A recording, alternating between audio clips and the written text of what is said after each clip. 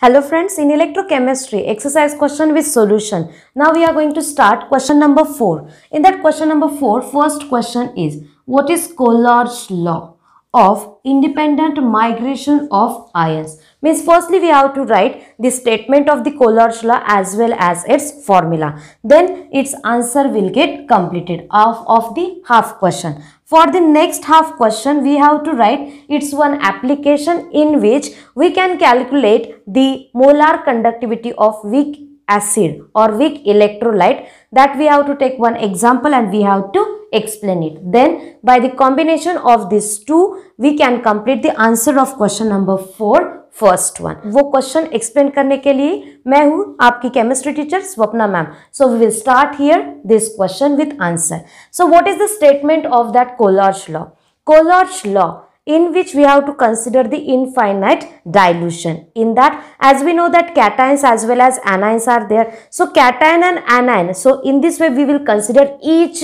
ion migrates independently. So what is the statement? See, at infinite dilution, each ion migrates independently with its co-ion. Means if cation is moving at that time, it moving with the independently with the co-ion that is of the anion. So this is the half part of this one.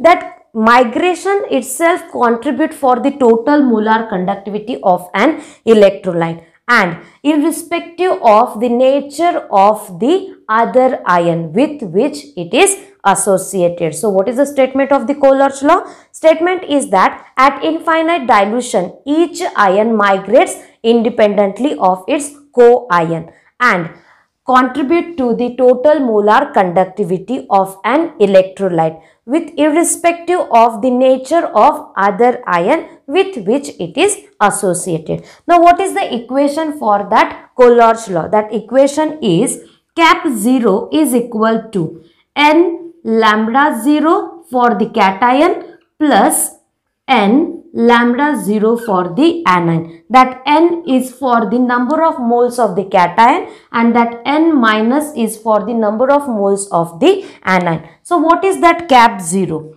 Cap 0 is the total molar conductivity at 0.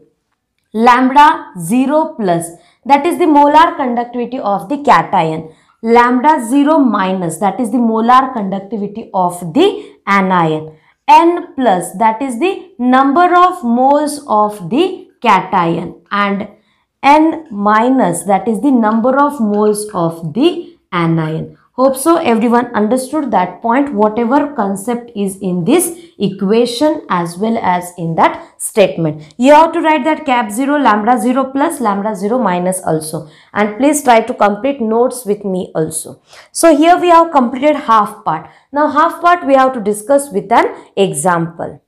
So cations and anions what is the point see cations and anions contributes cations and anions contributes to total molar conductivity total molar conductivity and this molar conductivity or we can say that that Kohlrausch's law is useful to determine the molar conductivity at zero concentration of an electrolyte. What is the point? See, it is useful, it is useful to determine or to calculate to determine the molar conductivity molar conductivity of an of an weak electrolyte weak electrolyte at zero concentration so here we will discuss one example that weak electrolyte we are going to consider that is the or we can say that here we have to calculate the cap 0 for CH3COOH means for the acetic acid. Then which electrolytes we have to consider? First one we will take here that is the HCl. Second one electrolyte we will consider that is the sodium salt of the acetic acid and third one we will consider that is the NaCl. Now what is the point here? Firstly we have to use these three substances or molecules in such a way that after addition or subtraction we should get that CH3COOH. Means here if we consider which ions are required. Firstly, what is the dissociation of this CH3COOH? It will dissociate as CH3COO minus plus H plus. Means these two ions are required. Now, which in which molecule these ions are there? So this ion is present in that second one and this ion is present in that first one. So what we have to do?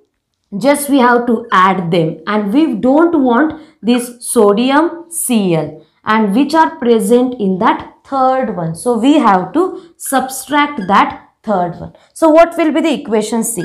Cap 0 for CH3COOH that will be lambda 0 it is of the cation. Which cation? That is the H plus from that HCl plus lambda 0 of the anion that is the Cl minus plus next one molecule in that lambda 0 for the cation and that is the Na plus and second one that is for the anion that is the CH3COO minus. Next one part we have to subtract and that will be lambda 0 for the cation that is the Na plus and for the anion that will be C. Here addition of them but because of that outside subtraction negative sign that will become negative. How it will come like that we will discuss here.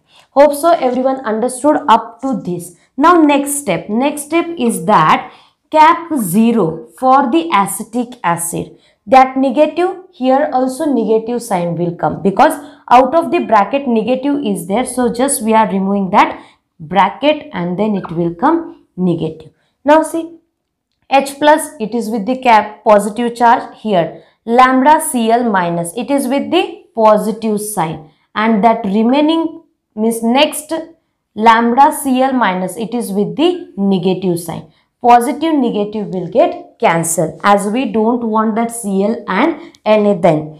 Now next one, this Na plus is with the positive lambda value and this is with the negative. So this will also will get cancel and here we will get that lambda 0 H plus plus lambda 0 CH3COO minus and in this way we can calculate the molar conductivity at zero, zero concentration for the weak electrolyte. So here we have completed that first question. So so, ज़्यादा बड़ा वाला lecture नहीं हो इसलिए हम क्या करते हैं एक एक क्वेश्चन कंप्लीट कर देते हैं तो आज हमने कंप्लीट कर लिया क्वेश्चन नंबर फोर से फ़र्स्ट क्वेश्चन तो नेक्स्ट लेक्चर में डिस्कस करेंगे हम क्वेश्चन नंबर फोर से सेकेंड वाला सब क्वेश्चन। तो देखो बच्चों, जैसे हम क्वेश्चन कंप्लीट करते जा रहे आपने भी क्या करना है, वैसे ही आपका स्टडी मतलब एक क्वेश्चन मैंने सिखाया तो एक क्वेश्चन आपने भी स्टडी करना चाहिए। तो ऐसे करके टुगेदर जाएँगे और बोर्ड एग्ज़ाम तक सक्सेसफुली अपना पेपर लिखने के लिए एबल हो जाएँगे। Thank you all of you.